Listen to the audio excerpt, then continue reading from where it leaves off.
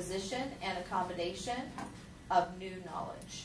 Absolutely. So if you have a set of keywords and you want to know how many of them your students can use correctly, ask them to build a concept map. And my personal thing, what I do is I do a lot of Venn diagrams, T charts, um, you know, three um, column charts where I make them say, you know, these belong together, these are very different, compare and contrast, or actually build a real simple concept map. And they don't even have to have the sentence between it, but I tell them it has to read as a sentence. You can't, you got to go through the bubbles, and if it doesn't make a true sentence statement, then it's wrong. Okay? And you guys use concept maps in your class, yeah? Mind maps, concept maps. We're going to see there's lots of terms for them in a minute. All right, next one. A study by Solomon in 1986 on motivation shows that active involvement of learners enhances their understanding of new situations. Okay, so motivating. Students really get involved in doing something like this. Now, it's intimidating at, start, at first. The first activity that I have the students do is sort cards where I've already put all the words, and they have two choices. Either it's all living things or it's some living things. And I don't answer questions on any of the vocabulary for the first five minutes. And I tell them if you don't know the word, put it in the middle. If you think you know where it goes, put it off to the side. When you think you've got everything sorted, call me and I'll come tell you if you are there. And so I go over, I have three rounds. And I go, you've got some wrong. We're, we're focused on the all living things, and you've got some wrong over there. And then I give each table a chance to ask me a question about a word that they're unsure of as a group and we talk about the vocabulary and get them more confident on the vocabulary. And then they start going, okay. Then the next thing I do is I give them a number clue. You should have nine cards in that section. And so they know now what their goal is. And then, oh, okay, we got nine cards. I'll go over there and I'll look through them. And no, you got two that are wrong, but I won't tell them which two. Because it's the conversation that's driving the learning. Okay, good. Y'all still got another question over there? Mm-hmm. All right. One method that teachers can use to help them break down the text and explicitly teach their students the skills required to make sense of the text is identifying juicy segments and then using a graphic organizer to help students readily see the textual inferences in the text. In doing so, teachers can not only support students' understanding of the unmarked relations within the text, but also explicitly draw attention to the big ideas of science that these texts discuss, albeit ineffectively sometimes. Okay, this is right on what you were talking with reading. It's just they use a little more complex language, and they call a juicy segment a segment that is really hard to wrap your head around. It's juicy because it's we don't we're not really sure, you know. And so in that article, it talks about helping them set up words that if you see this in the sentence, it's talking about comparison. If you see this in the sentence, it's talking about description. And you actually use the organizers for them to put these words in to look for that within the text. And then it talks about how powerful this is for second language learners. Because think, a second language learner is being asked to communicate verbally, to read, in, a, in another language and communicate verbally in another language. Then wrap their head around science, which is the purpose of the class anyway, because they're all struggling with the science. And to do those three tasks at the same time that your native language speakers are not having to deal with. And the one article on the iPod is a really powerful article. It talks about them getting to use where they get to see visuals if they need to, so that while they may not be able to be part of the conversation, they're still observing and looking at the visual thing. It was a really interesting article. Um, I had there were some things I would have taken to task with most of the articles. Uh, some of them were real small, and it was obviously beginner researchers, and they were, but they were. You could tell in the tone of the article they were looking for a way to help their students, and you got to give it to them for that. Okay, y'all have one more question? One more. Comparison is just one of the types of logical relations that can be established between textual segments. Although there are several ways to classify the logical links between textual segments, linguists agree that in general terms, these relationships can be categorized by four types of semantic categories. elaborative, comparison, cause and effect, and temporal. This is by Fraser in 2006. Okay, and see, and that goes back again to that reading. Reading a science text is not easy? And temporal, you know, I, I throw that. That's one of the words that we have right off the bat. What's temporal, guys? And they're like, uh, is that something that's on shrimp and you fry it? Well, I don't know. Yeah, yeah, and we no, that's you know time, temporary. The word you become temporary, and then they are like, oh, okay.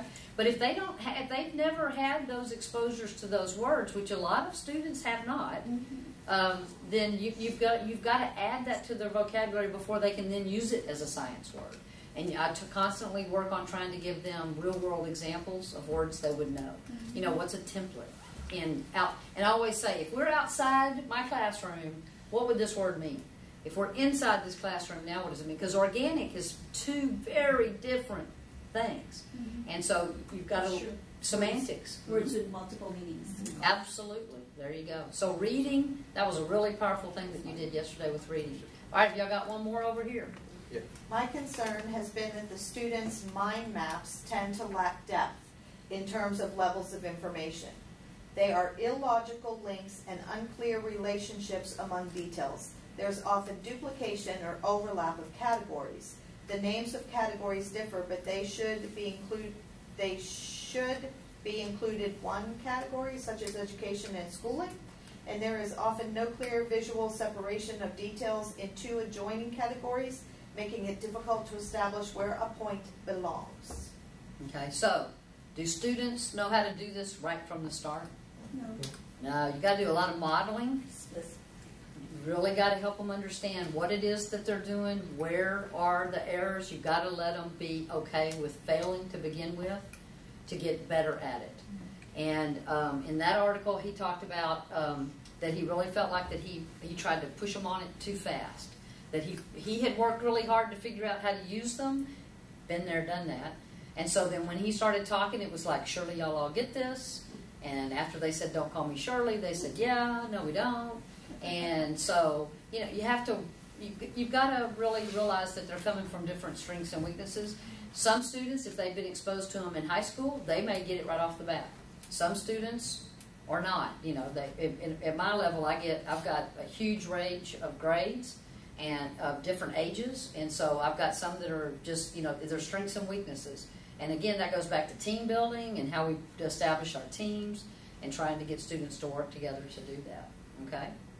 All right, so research, very powerful out there. It says this stuff works. It says there's a lot of things out there that are different ones, and there's a lot of different ways you can do it. Okay? All right, what was our second thing that we did? Our second puzzle we solved? The icon. Okay? So we had, uh, again, this is a type of advanced organizer. So hold y'all's up so they can see it over there. Okay? The picture part. Okay.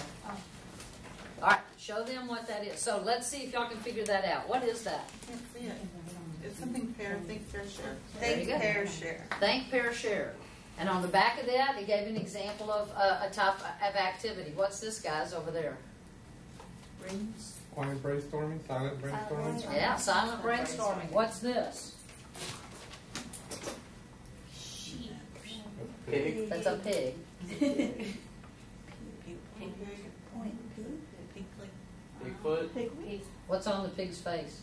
Now, Nose. Or dirt, muddy point. muddy Muddy. point. There you go. Oh my god, I got it. Yay. All right, what's this one?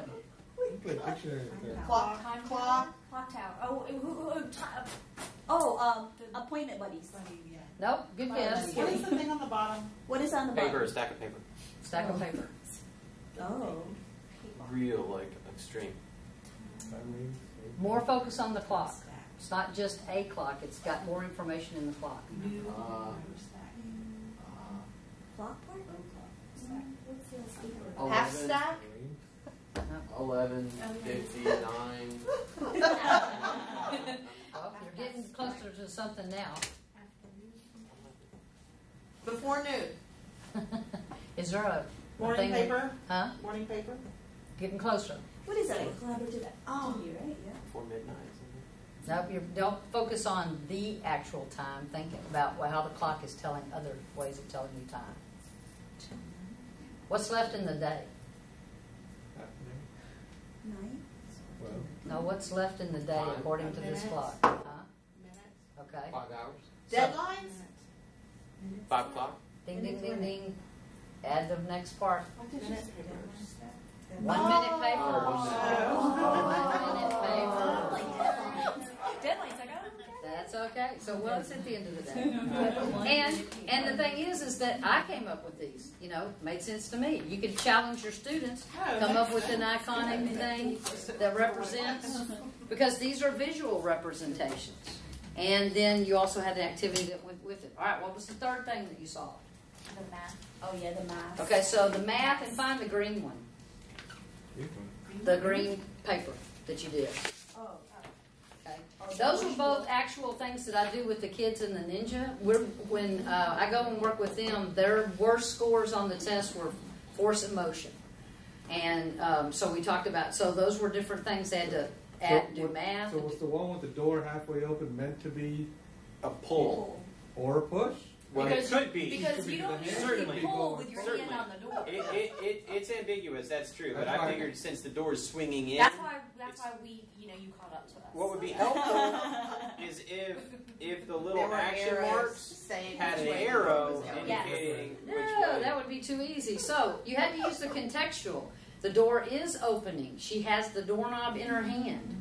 To get a door open and you're using the doorknob, you usually pull. Mm-hmm. If they were going through the door, they probably you don't have to necessarily. Well, if you try to Push it. close Yeah, it, yeah, close yeah, the door.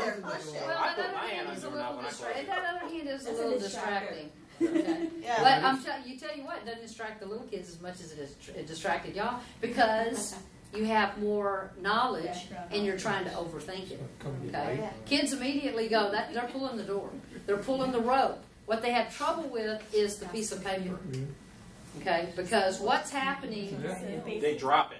Yeah, they drop it, but what's the force? Oh, push. Push. Who, what's making it fall? Gravity. And what's Oh, gravity doing? Oh, pull. Pull. Pull. I guess Well, you missed two. get that? Well, we probably missed two. We got two oh. switched and we You got got lucky. them two switched. That's funny. Gravity pulls on a piece of paper. Which I don't think we missed, dude. All right. Okay, let me refocus. If you can hear my voice, raise your hand. Thank you. It's supposed to be a push. Okay, so the the deal is is that yeah, y'all getting all into this. Is that that's real world application to either a breakout box or you've got a visual where you're trying to put words with a picture. Again, visual is that that is an actual type of advanced organizer. The other one over here, not so much with the math, although the bag represents, and there's a little story that can go along with that about pirate's treasure and how many coins they've got, and they've got to, you know, get them off the boat before the boat sinks, and which ones do you want to get first that would have the most coins in it because it had the most mass. So there's some fun stuff you can play with that. All right, then what was the next one? Compass. The compass point. Now, really, this was now this was a bad assumption on my part because in my backpack I have all the handouts that y'all given us since the day one, and I assumed all of you were throwing your stuff in your backpack and that you would have that handout that you would immediately go to it, and then you would be able to figure out the little terms. Bad on my part, and that's and that can happen, and so we have to think ahead. Don't assume anything. And maybe what I should have done was gone ahead and given you. I found the handout that you put out in class, Jen, because I thought this was such a cool activity that we didn't get to spend much time with. But I thought it would be enough to remind you, and you had to use the north, south, east, west by figuring out It wasn't hard. personalities. What was hard? Yeah, it didn't hard. We didn't read the last Yeah. sentence that said a point may be used once, more than once, or not at all. Well, there So you we go. were trying to figure, we, we wanted one to one. Ah, so- Ours was operator error. Yeah, we No, needed it He's, at least. he's still practicing.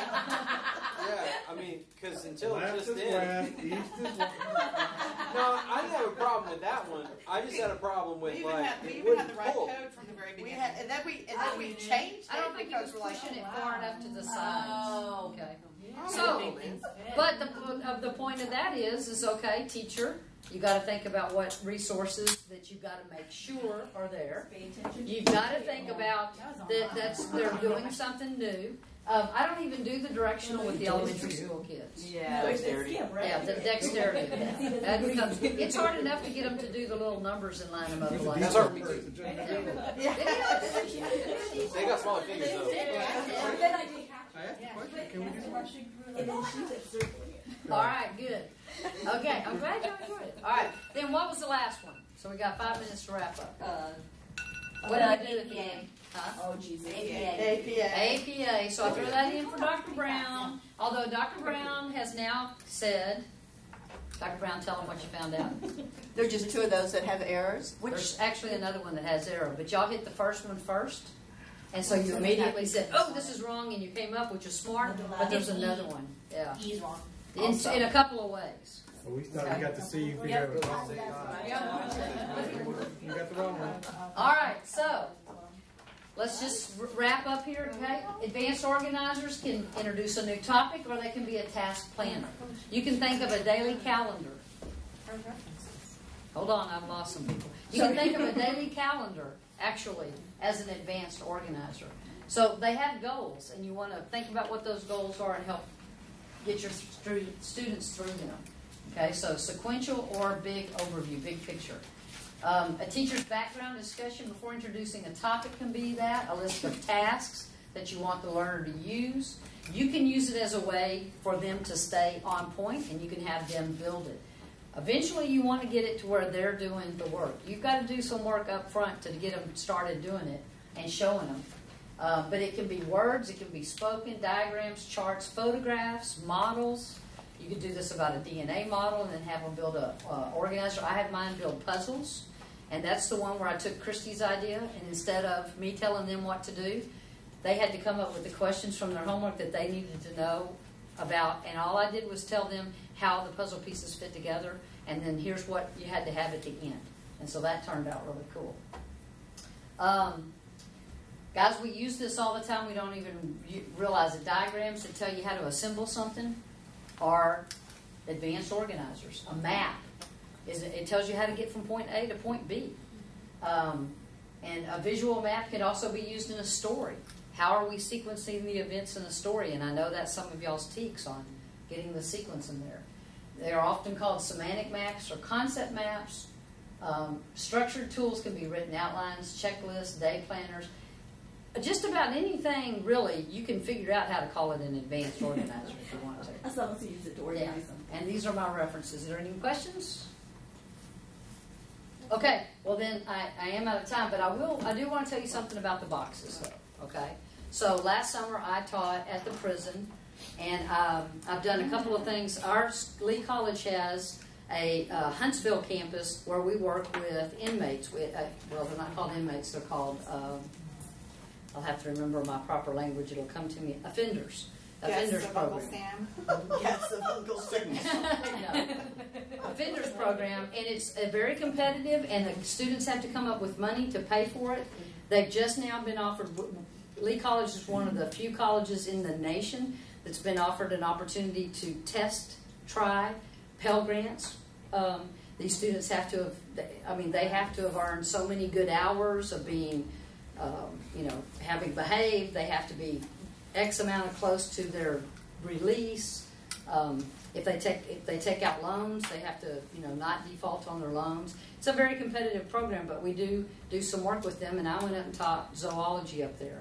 But before I did that, um, I found this little thing on Instructables where you put your phone on it and you enlarge, and you can put some underneath it, and you can enlarge it and take pictures. And I was like, oh, I got to have some of those. And I was like, "Ah, but I need a whole bunch of them. And I knew I could build it, but I knew I couldn't build enough of them. And then all of a sudden it was like, oh, wait, I know where we have a bunch of guys that build stuff all day. And they'll do it for really, really cheap. And so I called the dean and I said, Dean Zuniga, would you guys be interested? Oh, we would love to do that. And we made a big deal out of it. So then when I saw this, when I left, and after Andrew did his, I left, I went and I said, Dean Zuniga, I got a new deal for you. And I said, and I want to make sure that everybody gets credit that needs to get credit. So if you look on there, you'll see the logos that are on there. the, is where the, uh, the Ellis unit is where they did the actual work. Our um, offenders program was celebrating 50 years. I am the science ninja.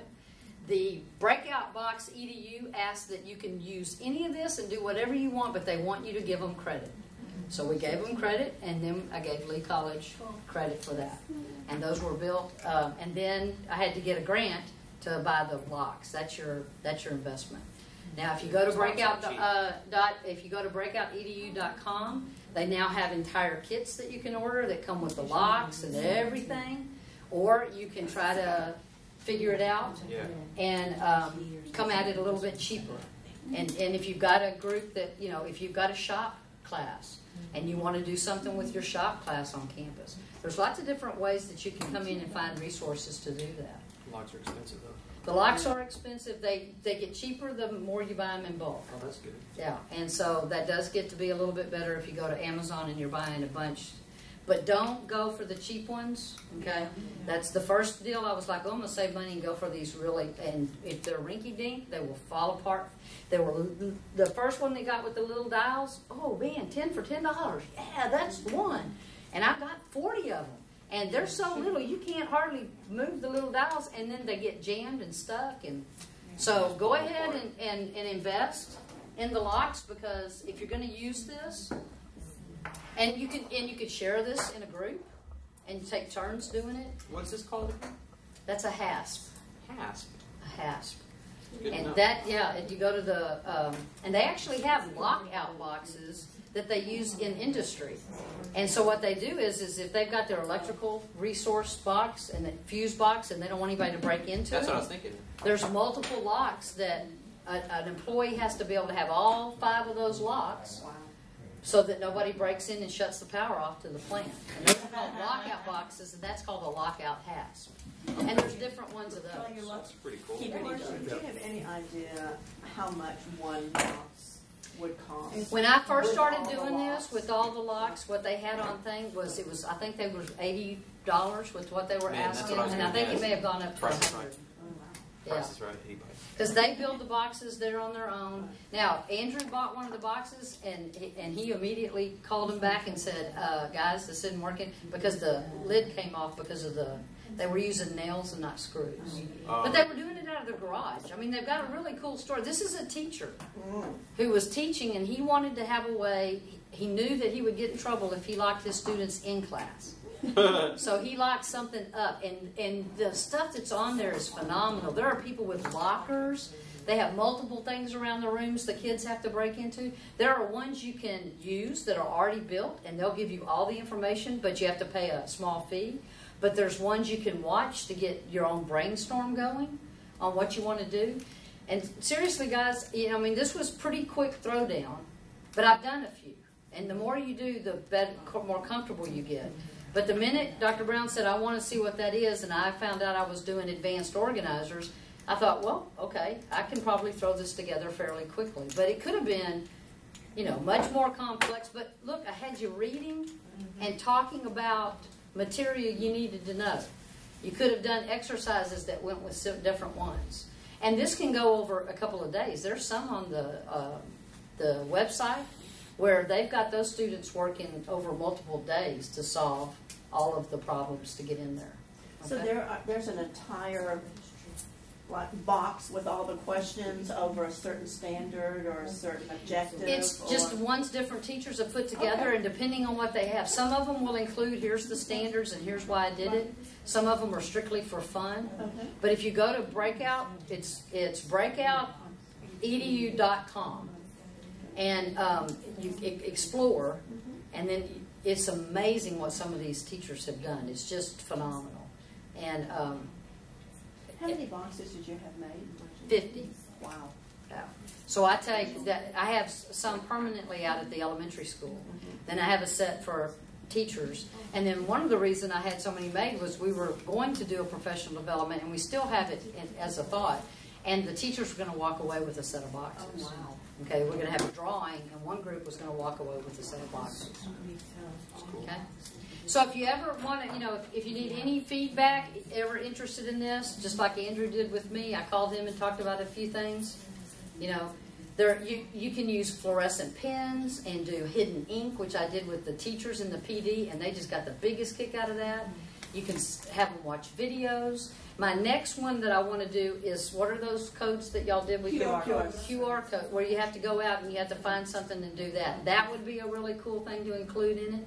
Um, so my thought is, is we've got um, early college, high school kids, and they, their school year and our school year is different. So we've got them in the gym now, and they're not doing anything. And so one of the counselors said, "Can you help me come up with an activity?" And we're going to do a scavenger hunt around campus where they have to go find the what is it QR QR code. QR codes, and then solve and come back to the gym, and that'll keep them busy for an hour So and and do learning things. how'd you go? How'd you guys do the?